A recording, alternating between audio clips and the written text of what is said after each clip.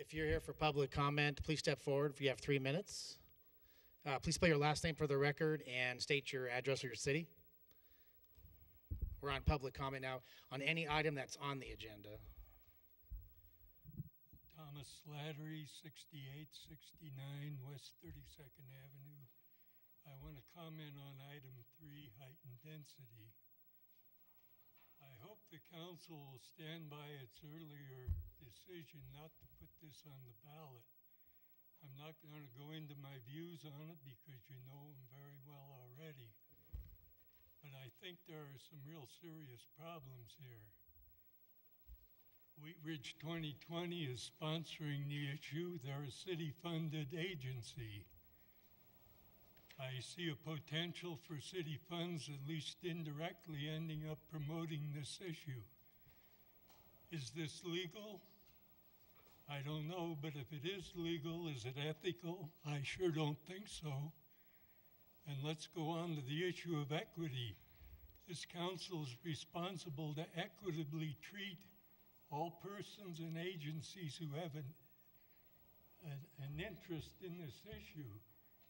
And if city funding is somehow going to end up in this issue, I don't see how any opposing agency can match it. So I really urge you to stick by your decision not to put this on the ballot. I think the only proper way to do it is for an agency that has no connection with the city to circulate petitions and collect monies independently to promote this issue. Thank you. Thank you. Do we have anybody else here for public comment? Please step forward.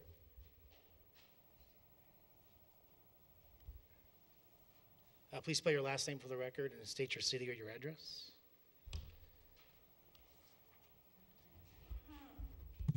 Nancy Snow, SNOW.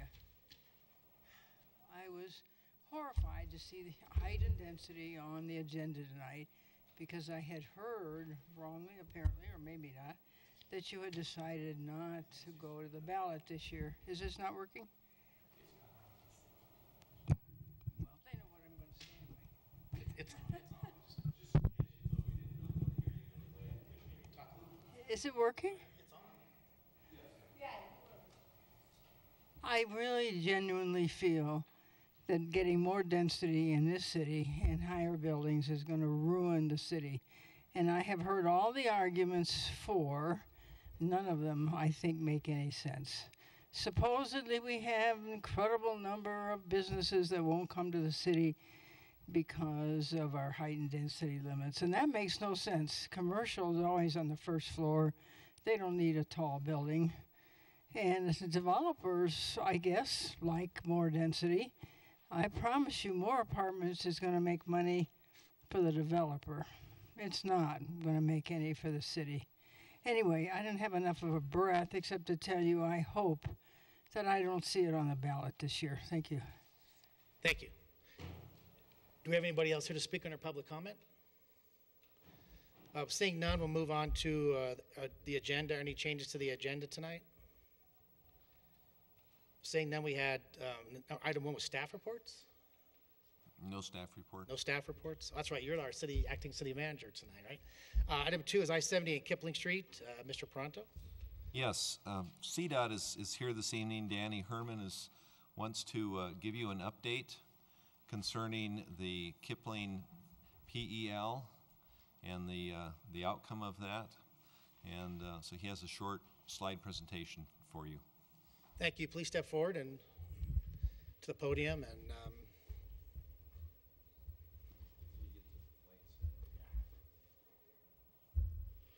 Hi, welcome. Uh, thank you. Uh, thank you for having me here. My name again is Danny Herman. I'm the planning program manager for CDOT, formerly of CDOT Region 6, now CDOT Region 1, the new major mega region in the metro area.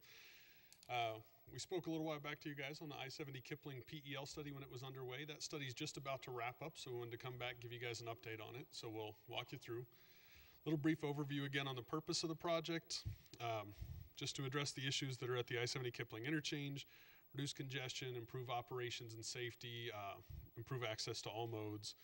So we identified some of the current problems, operational efficiency, traveler safety, The key elements of the study, we wanted to identify the long-term vision, uh, narrow the range of alternatives to give us something to move forward more quickly into the environmental stage, uh, complete community and resource agency involvement and public outreach. And uh, we'll get into this. One of the first things we did through agency coordination, we started out, we gathered comprehensive plans from Jefferson County, Wheat Ridge, Arvada, looked to see what was on the plans to make sure this met. Started out with technical team meetings, which included staff, uh, as you can see, from Wheat Ridge, Jefferson County, Arvada, DRCOG, CDOT, RTD, and FHWA. Uh, we had a couple of resource agency coordination points. Um, these are EPA, the Corps, anybody who might have uh, thoughts like that, we coordinate with them early on. We have our elected official briefing presentations, one of which we're doing now, and then small group meetings with stakeholders. Uh, we early on we identified three groups of stakeholders: uh, business interests, citizens or residents, and uh, multimodal partners. We also, through our public meetings, heard that emergency service providers would be a good group, so we met with them as well. So we've held two public house meetings. Meeting one in April, we had over 50 attendees. Meeting two, uh, just last December, over 75 people attended. And then the number of focus groups, like we talked about. So the study recommendations, uh, I'll just breeze through this. This is a lot of what we talked about last time. Uh, we eliminated or we evaluated 33 alternatives in level one, just simply a thumbs up, thumbs down. Do they meet the purpose and need of the project? So we went on to level two screening and we had 16 alternatives at that point that we carried forward. In level three screening, we've evaluated four alternatives. We've narrowed it to two. All four of those will carry forward into NEPA, which is the environmental decision making process, but two of those are our recommended projects. So the other two should be fairly quickly dismissed. So the four alternatives that we will carry forward into NEPA are the single point urban interchange, the partial cloverleaf traditional diamond interchange, and the button hook ramps. And the two recommended will be the single point urban interchange and the traditional diamond interchange. So the single point urban interchange, this is a fairly typical urban layout. Um, it won't have any change to the frontage road access or won't require any change to the frontage road access. It improves the ve- vehicular operations. Um, there's only one full right-of-way acquisition. Really, the two alternatives we're moving forward are the single point and the traditional diamond. The biggest difference in cost and implementation, the single point has to basically be built all at once. The construction costs are higher, the right-of-way costs are lower. Um, operationally, you'll see some differences as well. The total cost for the two is roughly the same. Um, so move into, well, here's a, a, picture of the single point urban interchange, or SPUI as we call it. Um, give you guys a chance to take a look at that. You'll see the partial acquisitions. The only full acquisition we have planned is uh, of the Conoco property here. And that's because we're going to be limiting the access so much with our ramps that we anticipate uh, needing to take a full take of that property. And so we identified, since we will likely have to do a full take, that that would be a, a strong candidate for a water quality pond. As we move forward into the NEPA and further design, we'll narrow a lot of this down. So this is very preliminary, but trying to take a look at which accesses we think we can maintain. You'll notice on this one that we do maintain full access, uh, full movements at the 49th Avenue interchange. With the next alternative, you'll see that uh, we don't, we aren't able to do that. And with this alternative, it can go either way, but we felt like it could be maintained, so we're showing it that way. You actually get more operational benefit if you adjust the interchange to be a right in, right out, which you'll see on the next one coming up. The second one that we're recommending is the traditional diamond alternative. This is probably your most common um, interchange layout. It's going to have a few more full right-of-way acquisitions. As I said, the right-of-way costs are higher. This one, the construction costs are a little lower, and it provides more opportunity to be constructed in phases. Um, again, you see the total conceptual cost for both of these. They assure us um, unintentionally came out to be roughly the same when we added in the right-of-way and the construction costs. So you'll notice here that there's an, quite a few more full acquisitions, particularly on the south where we have the realigned frontage road. Uh, we are showing full take of the Ramada, and we've identified those as two probable locations for a water quality pond as well. Again, those decisions aren't made. We'll carry them forward into NEPA. And then you can see here on the 49th Avenue, it's converted to a right in, right out. And so it'll limit access. Primarily, those coming westbound will not be able to turn left directly onto 49th Avenue. They'll have to come up to 50th. Um, And then it does also, because of that, limit pedestrian mobility, since they can't cross uh, east-west across uh, Kipling at 49th, so they'll have to either come down to the interchange or up to 50th. We have met with RTD and the bike ped groups, and both of them are in favor of these two alternatives and feel like they don't have significant negative impact to any of the traveling public up there.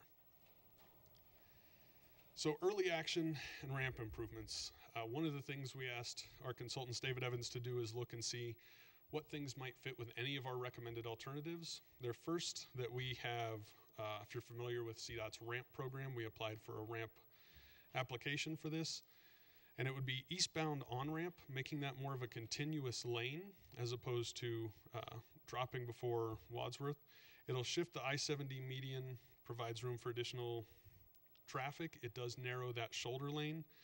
This isn't an interim improvement. This would remain until I 70 is fully reconstructed, which we don't have a plan for. We would have to get FHWA approval to have the narrower than standard shoulder. Um, but this is compatible with both alternatives. Uh, it's been reviewed by our traffic group. It provides immediate operational and safety benefit at a fairly low cost.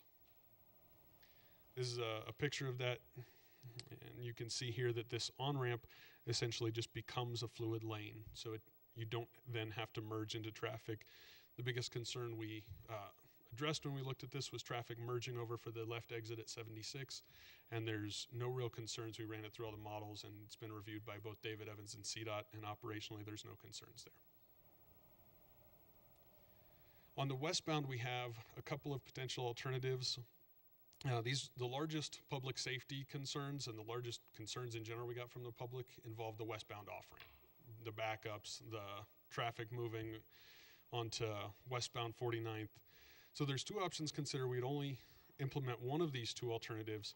One of the interesting things is both of these alternatives are throwaway in the long term, meaning they don't work with either of our long-term alternatives, but given the relatively low cost, we think that either of them depending on how long it's going to be before we build the interchange, will probably provide enough benefit to justify us building it even with the throwaway. So the two alternatives here, the first is the double right with one free flow lane. So this lane here will free flow, unsignalized, westbound traffic can move directly on. There's also another lane here for folks that would stop at the signal and turn right in modeling, this one tends to work best because people who want to go left at 49th or anything can get into this lane here. Behavior wise, we've seen a lot of times that people don't necessarily drive that way, and if there's a free lane, sometimes they still take it. So we will do further modeling to see which of these. The second alternative is slightly more expensive, both of these under a half million dollars, which at CDOT terms is pretty inexpensive. Uh, this one down here has a signalized double right. As you can see, if I can get the mouse to work. Uh, the two lanes, there would be a stop here, um, a signal, and pedestrians can cross there at a signalized crossing as well. So, like I said, different costs for these alternatives. Neither of these is currently being funded, but both are being moved forward.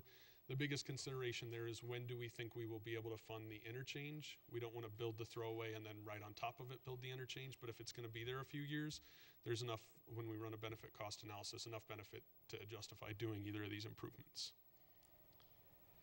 So our next steps, we're at our final stakeholder coordination. Agency support documentation, you will probably in the near future be getting a request for a letter of support uh, from your jurisdiction that we can put into the report that says that Wheat Ridge was on board and supports the recommendations that we've put through. We're finalizing the PEL report and the study recommendations. We were hoping end of May, and our federal partners have um, struggled to get us all of their comments on time with some of the reorganization going on, but in the near future, we hope to have the PEL report finalized, the final study updated and distributed to the public, hopefully by the end of this state fiscal year or this month. Um, the website has all the documents, and we will send notification out to all of the people who have previously given us their contact information to let them know the final report's available. So this again is a document we've had at the public meetings out before, shows that we're still just up here at the very beginning.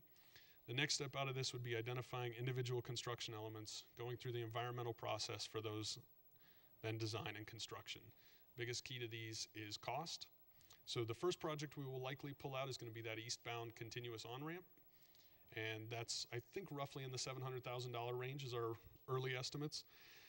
We will also at the same time be moving into NEPA to narrow down those two alternatives into one final alternative for the interchange. Um, and then depending on which alternative is selected, we can look at interim improvements and uh, implementing that. So I think that's all I have. If there's any questions, I'm happy to answer.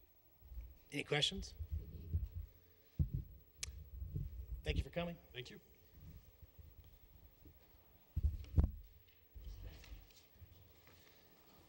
So the, the next item on the agenda was item three, which is discussion of high-density ballot issue. I believe that was added by Ms. Jay. Make sure you turn on your mic, please, and um, actually myself and uh, Mr. Starker put it on. And the reason we put it on is we felt as though the discussion at our at our strategic planning session was um, very limited, very brief, and we did not have uh, an, much much discussion of it at all. As well as there is a um, a rather extensive report that we're missing, which is um, being prepared by citizens uh, with the help of 2020 uh, giving kind of an update as to uh, what's going on in the community in regard to that. And we felt as though that, that study would be um, a good part of this discussion. Um, they would not be ready for that until when they were scheduled for it originally was toward the end of, of uh, June, starting into July. So what, what um, I talked to Britta today, and she said that any furthering, any addition, a study session a little bit later would, would give them the time to do that, to finish that, so we can look at what all's available as far as information. if council doesn't mind, I wanted to see if Mr. Dahl could come and uh, address a, a few things. The height and density was discussed in reference to a few properties in the city of Wheat Ridge that had some issues about developing. And Mr. Dahl has been researching some of the charter plus what our current code says, and he has, uh, I think he has some solutions here. But Mr. Dahl, you want to go ahead and uh, just uh, give everybody an update? Well, I will say I don't, uh, I don't have a solution to those individual parcels as of yet. They're each kind of fact, pardon me, fact specific. What I have been doing is, is looking into a couple of them to see what uh, the building permit history for those properties were, because as you know, the charter restricts, sorry, am I not being heard? It's usually not my problem. Okay, great. That's, that's nice. It's a change for me.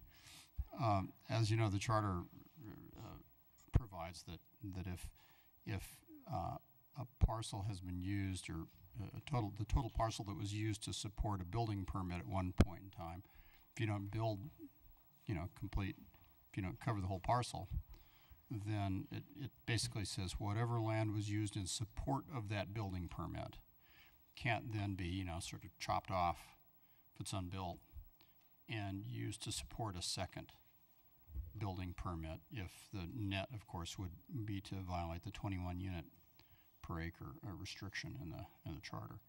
And of course, we do have a few, there are, there are not a lot, a lot of circumstances, but we do have a, and I get that for, you know, development that's in the city and is sort of current.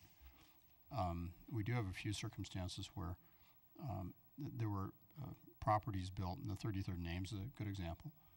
Um, in that particular case, that structure was built in 1958.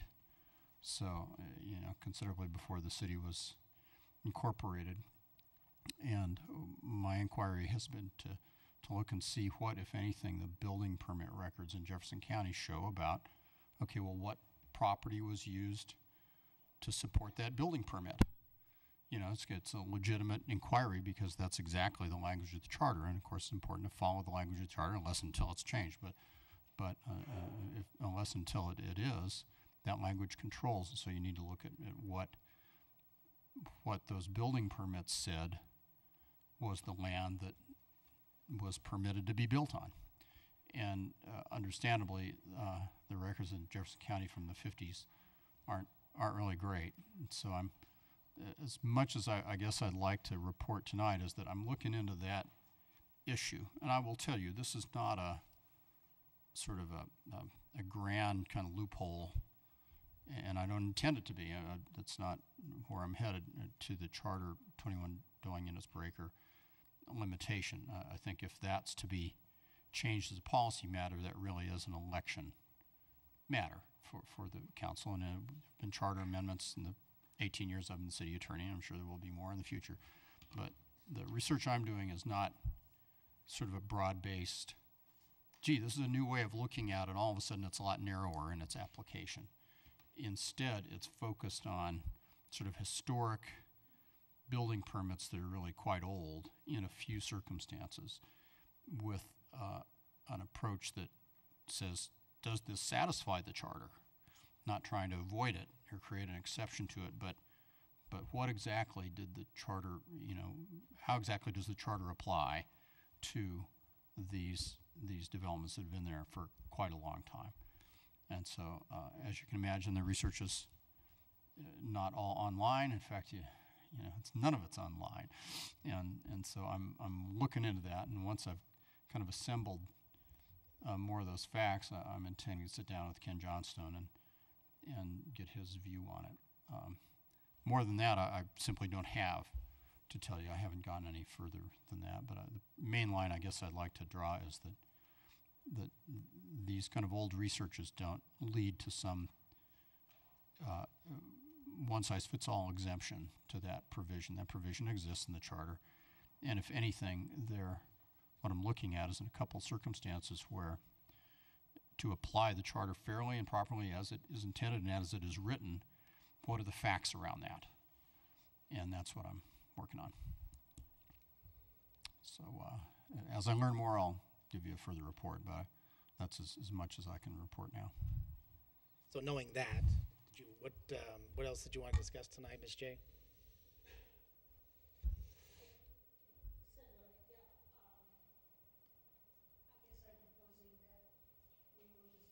forward to another time, to a, a later date until we resolve this question as well as have the information uh, as to what the public reaction is going on at this time, what has been ascertained information-wise. I think it's just, we came to this conclusion very hurriedly at the end of a meeting, and um, I think we haven't thought it out as is our job to do. Comments, questions? I guess Ms. Jay is basically asking to move a- another discussion forward once the data's in from 2020. Right, And Mr. Dahl will have some more information. by then, exactly. So comments on that uh, proposal?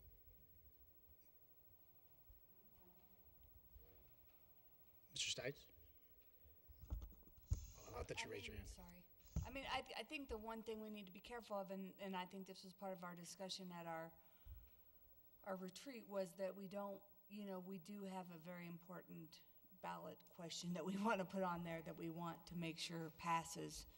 Um, and, and so we, I think that's, um, one of the things we need to focus on to make sure that, you know, one doesn't shadow the other and, you know, creates a no-no vote type of situation. And, and I think, you know, I think also if 2020 was, um, you know, or the 2020 or citizens that are involved in it, whoever, I mean, I think we also need to let them know that that's our, you know, that was kind of our mindset as well. But I'm fine with, you know, if they want to present what they're collecting.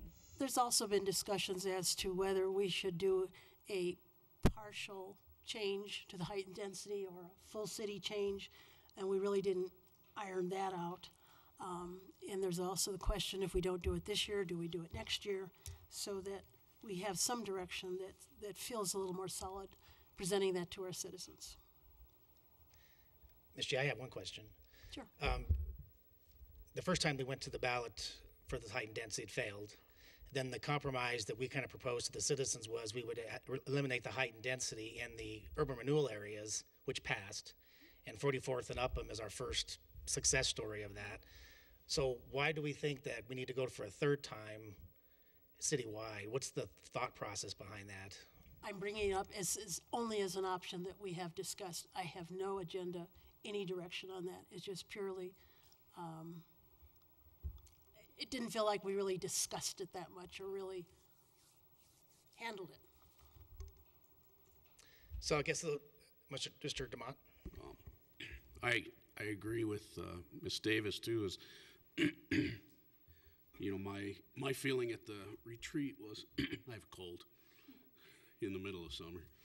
Um, I know. Uh, was not that we cut, you know, and obviously you felt differently and I didn't, you know, I'm sorry if you felt cut off, but at the retreat, but yeah, that sort of, we had decided not to discuss it sort of not put our dog in that fight this year was more of what we had we had or what I felt was the agreement was not that we had limited discussion it's just that we sort of decided that we just didn't have time to put that put that kind of effort in this year um, with light to what Mr. Slattery said tonight too that does bring up a good point that if 2020 is you know, going to push this and, and run this campaign, the fact that uh, there is city money going to their organization and they're going to use that, that does sort of raise a flag to me too. Um, that's something that I actually hadn't thought about before. But, huh? Why? It seems to me that when the first time the campaign was done, city money was used for it, because I remember advertising literature with council members um, supporting it. So I- I'm pretty sure that city money has been used before. Oh, city money can't be used for something like that. Absolutely not. No, No way. it was just, person, city council members individually can support it, but. Yeah, individually, city sure, we can. can't. Yeah, I mean, as a educate citizen, but no, you can't put city money to an election. No, and directly or indirectly, and I see, you know, and that's what I'm saying, I see Mr. Slattery's point too, but, uh, um, you know, I, d- did you feel like we didn't have enough? Or we were, maybe we cut it short, I don't know, because we did cut right at the end there. You know, it was, it was my feeling that um, when we, when we had the last study session and we went to consensus that we would go to the voters for a tax increase, and we, and we spent a, a few minutes talking about that, and then sort of as sort of an aside, we said, and then we won't do the height and density question. I don't know that we've really had a, a reasoned consideration of the question whether to move forward with it or not, I guess. It's, uh, it, it was certainly not discussed at length at our, at our retreat, and we had several of our counselors that couldn't, weren't able to attend that meeting. So, uh, that was my, my reason to support Ms. Jay and the request that we bring this back and have, and have some sort of a discussion about it again. Yeah, well, I think, yeah, if anybody feels like we didn't have enough, I'd, I'd support bringing it again. We might as well talk about it, it's no problem. Yeah, I- I don't have any, any problem talking about it again. I'm- you know, But I did, was interested in the timeline questions uh, from Mr. Dahl. Would you walk us through when this council would have to take some kind of action on this or any, and what our options were? And then there's always the petition process if someone outside the council chooses to. Would you just walk us through our choices there? When we would have a real, oppor- last real opportunity to discuss this? Sure. Um, and this is pretty sort of calendar specific, and I wasn't quite ready with the details, but I can give you what I, what I know about that. It'd be a November election, and the backup dates, meaning when you've got to certify the, your ballot question to the county clerk, that's, that's the most important date, and that is usually toward the end of August beginning of September, and the county clerk and recorder each year, because the calendar varies a little each year. But there's a, there's a timeframe uh, that is kind of the latest you can submit that uh, ballot question so that it gets on the, on the ballot. Uh, For that, you've got to, uh, obviously, for charter amendments, you must pass an ordinance that, that initiates the charter amendment process. Uh, So you'd need to go through two readings of that to have that complete by, and again, I'm guessing, I think the last election calendar I saw for this year was September the 6th, but that was in Clear Creek County. And it shouldn't vary, but oddly enough, it does. Sometimes as much as a week between counties, who knows? County clerks, you know, calculate differently. So I always think about September 1st as more or less the goal for getting the ballot question to the um, county clerk and recorder. That interestingly is also the, the date when you've set the election question that the curtain rings down on uh, uh, city funds on, on the matter uh, under the, uh, the Fair Campaign Practices Act. So you, you'd need to back up from roughly September the 1st, a couple of meetings to be able to do an ordinance, first reading, second reading. So you're probably looking at no later than the 1st of August to introduce that ordinance, and depending upon how the calendar fell, you know, a week or two off from that. Matter, we have to be doing something around the first of July, do we not, to really run that? You'd have to have the discussion so that you gave good direction to staff, we can write it up, uh, wordsmith that, so that you're comfortable with it before it's introduced. Yeah, that's right. Thank you. And by that time, you should have some kind of a response back on some of the selected properties in the city from Mr. Dahl and the current charter restrictions. And Mr. Dahl, would you give a brief uh, overview of Mr. Slattery's um, objections or, or the question relative to Wheat Ridge 2020 about um, their ability or the legality with which they involve themselves in this question? Well, uh, sure, Mr. Slattery probably won't, won't, is this better? Tom, is that better? Okay, all right, fine. I always, you know, you sit in meetings and people talk too loud and it hurts my ears, and so I, I've, I've always been sensitive to that. But okay, not tonight. Uh, well, the Fair Campaign Practices Act, which is what governs the city, doesn't govern others, doesn't govern Wheat Ridge 2020 or any other organizations. It says that the state, or in this case, city funds, may not be used to urge the electors to vote in favor of or against any question uh, on the ballot.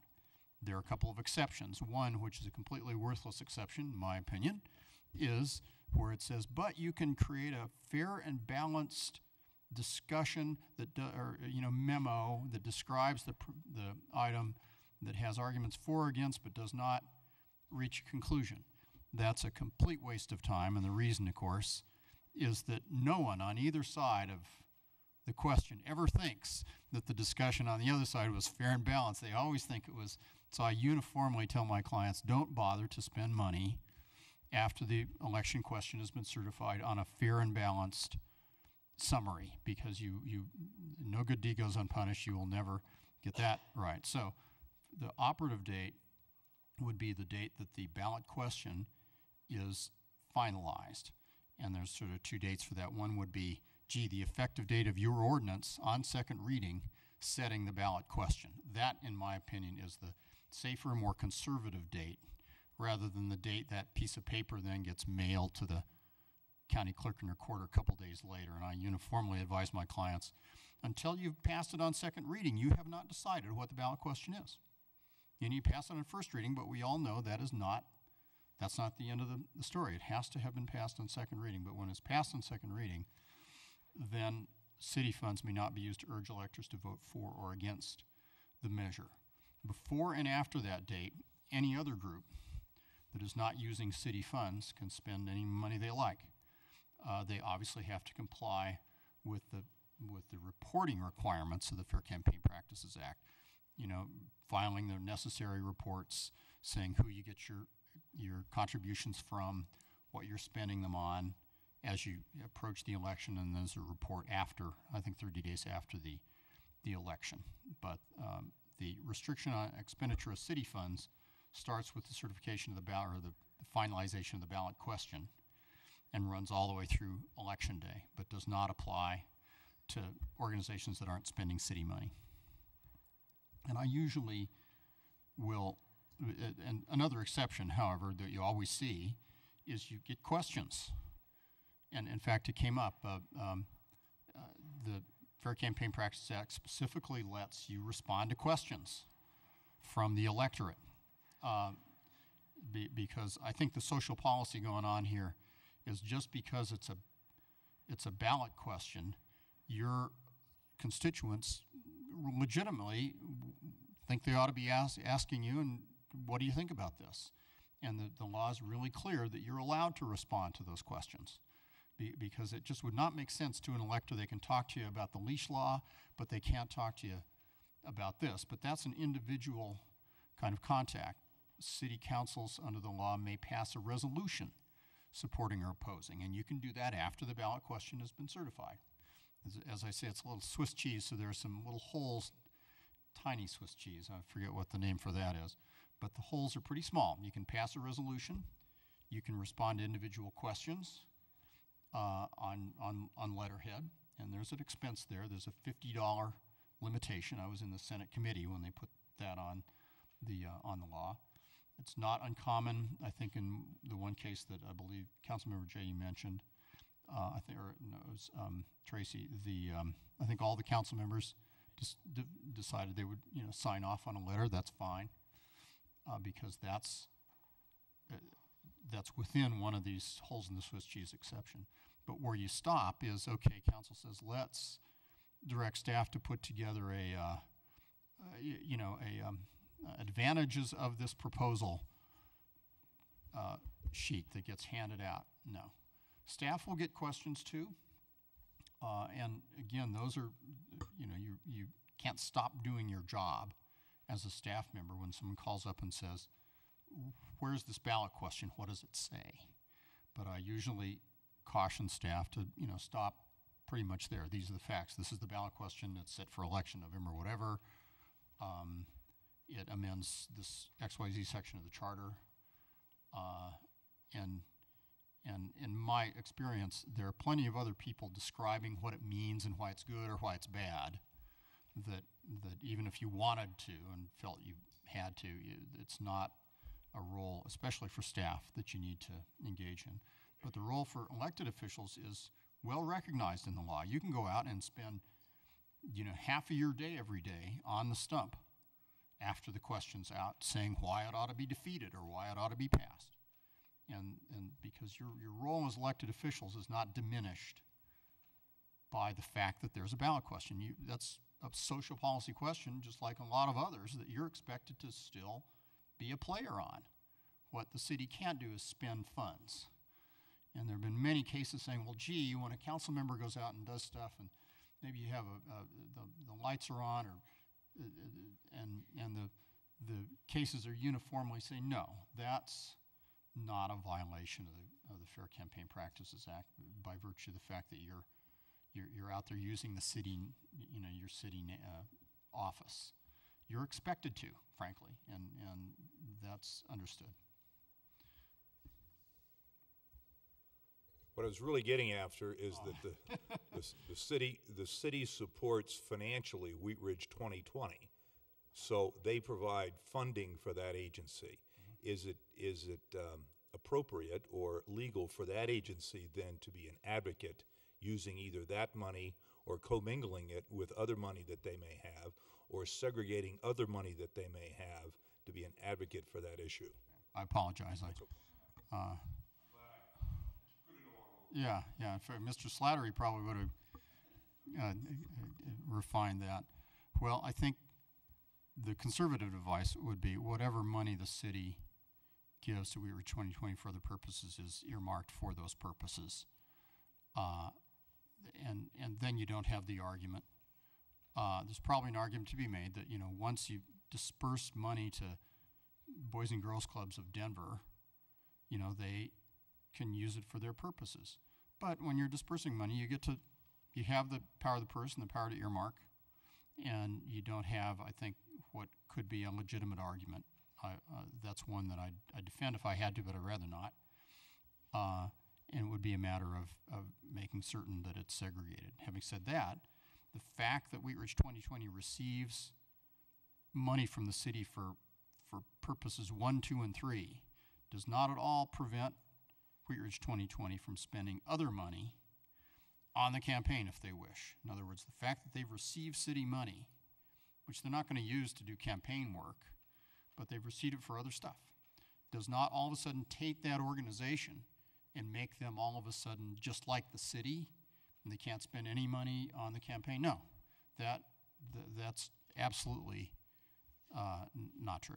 So the, um, the safe, and I haven't spoken with them, I have no idea what their, uh, their intentions would be, but to the extent the city money were segregated and, and not used, then you've completely taken that issue off the table. And 2020 can fundraise with, private money. Sure, yeah, they fundraise, all they, basically, they, they, they remain an organization that's not the government in any way. They if they receive some funds from the city, while I could argue that once received, we have no further control, I, I think it's a better thing to do to say, okay, the funds from the city are for the particular projects the city chose to help you fund, whatever, whatever those were.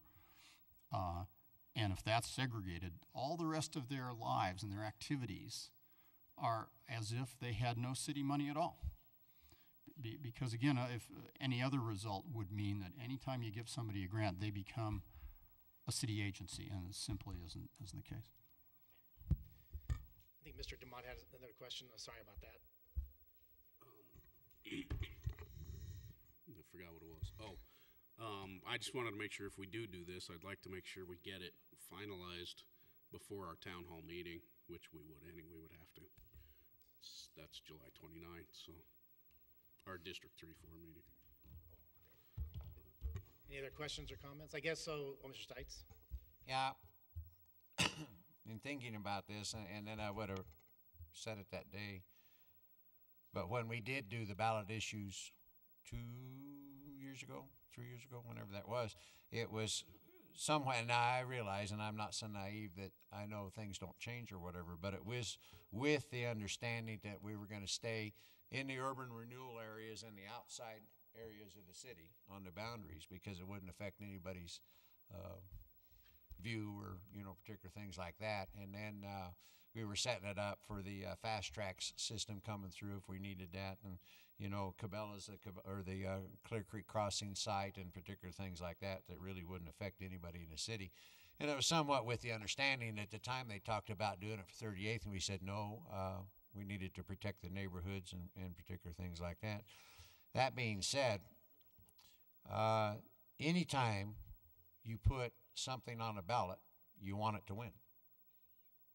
So you want to put your best foot forward, and I think it's getting a little late in the game to put anything about height and density on this year's ballot. Now, if you want the sales tax or whatever uh, to pass, or, uh, then you don't want to convolute the election um, at all. So I would be inclined just drop it just drop it, uh, height and density for this time, because you don't have enough time to educate the people or try to educate the people on the issues or whatever between now and the election. So my advice would be strictly do not do nothing with height and density at this time. Uh, it's it's it's not worth it. It'll convolute what you're trying to uh, pass, and then also uh, my concern with 2020 is when we set that up, it was always supposed to be a non-political organization very non-political, and it should be non-political. Um, so that being said, that's my my deal. I don't. I think end it tonight. Uh, should be no more discussion on it, and let it go. So we need some kind of direction or consensus to move it forward for another meeting. So you're, so Davis will have some type of direction. Because it's not unanimous, obviously, so.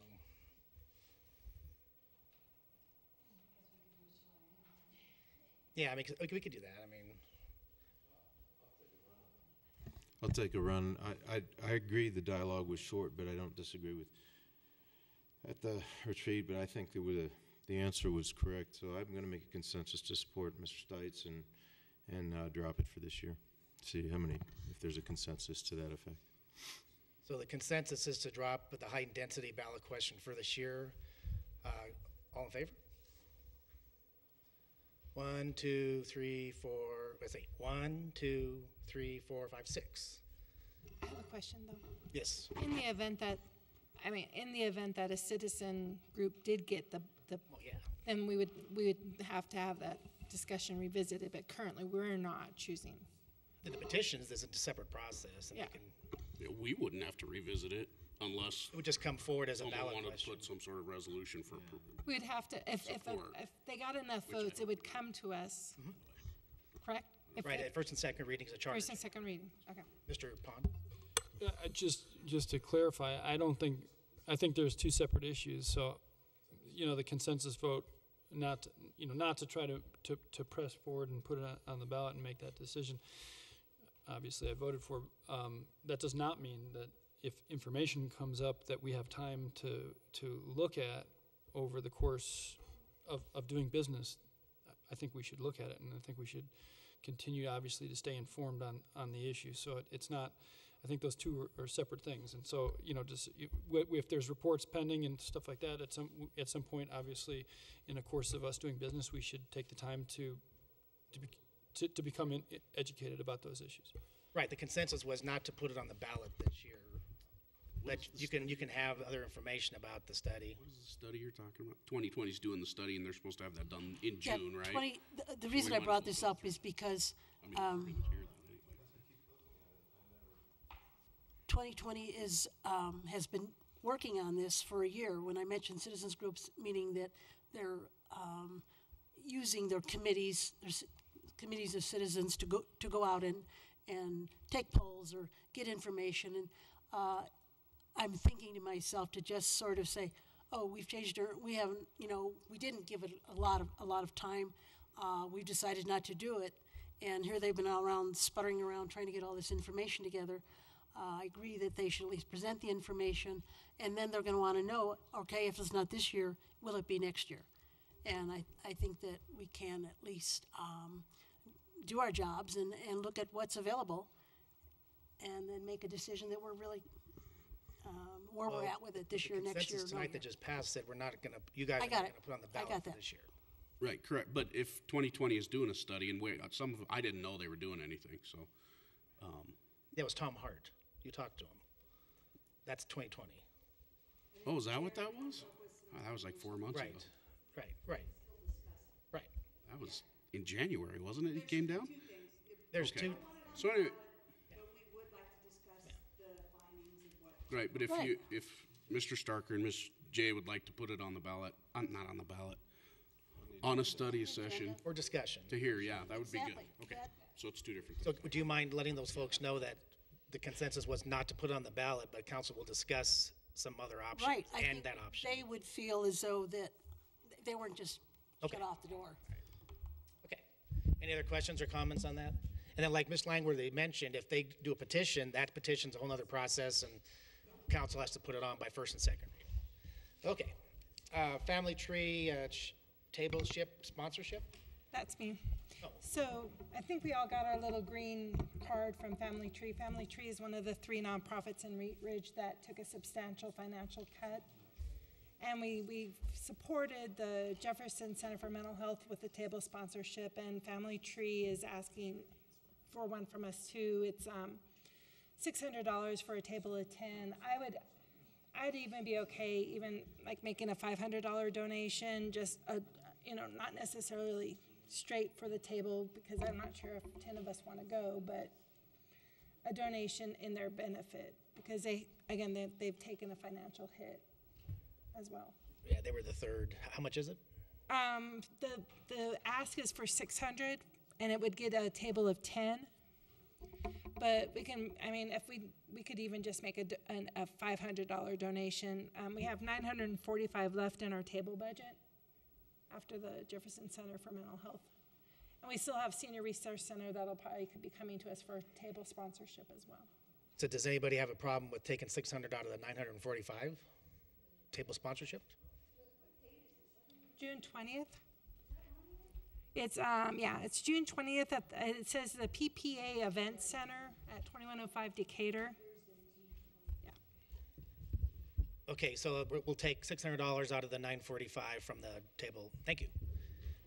Mr. Stites? I just was thinking this weekend, kind of a fun little deal. You know, they have their, uh, the family tree has their, uh, secondhand store there on 38th. Maybe it would be kind of neat if each one of us went in there and spent five bucks and bring it to a council meeting one night and just see what we bought for five bucks.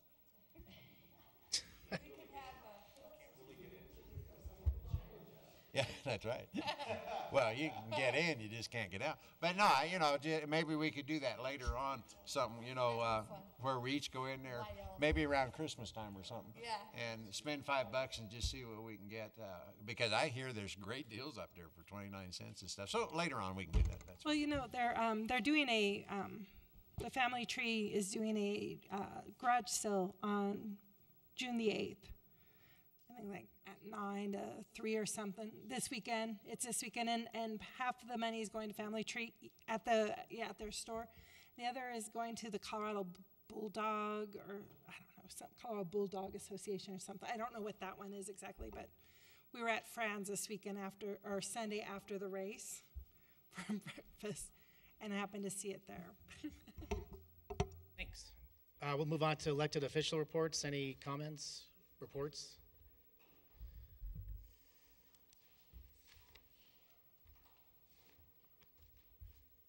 Particularly want to announce the garden. Oh, no. Oh, such a, such a gentleman and a scholar he is. I'll help you. Look at that. Let me see it again. Let me try it again. Um, the garden tour, third annual Wheat Ridge Garden Tour is Saturday, June 15th, 9 to 1. Um, and it starts at Wheat Ridge Middle School. Um, and tic- tickets are fifteen dollars, but what's really cool is you get lunch with it because our our fellow council member here, Joey, is Pete.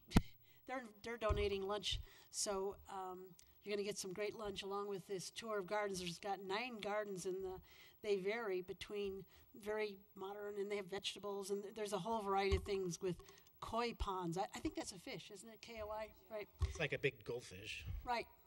Uh, water features, perennials, and annuals galore. So it's not this weekend, but the following um, June 15th, 9 to 3. Please come. Anything else? Mr. Starker? I would uh, like to remind all of the citizens in District One that we're going to have a uh, District One listening session at Yule Firehouse at, um, uh, just off of 29th and, or 30th and 32nd and Chase, is it? I think, Chase Street? Depew? So my directions get, get a little hazy sometimes.